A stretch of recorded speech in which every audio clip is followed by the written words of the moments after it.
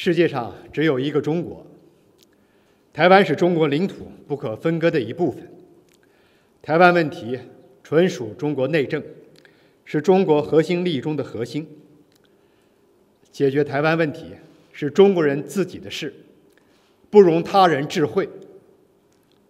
近年来，台海局势紧张的根本原因，是岛内台独分子在境外势力的支持和纵容下搞分裂活动。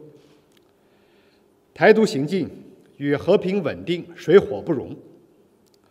要维护台海局势和地区和平安宁，就要旗帜鲜明反对台独，反对外部干涉。朝鲜和韩国都是已加入联合国的主权国家。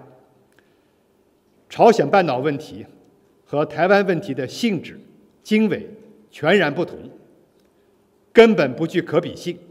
这是众所周知的事实。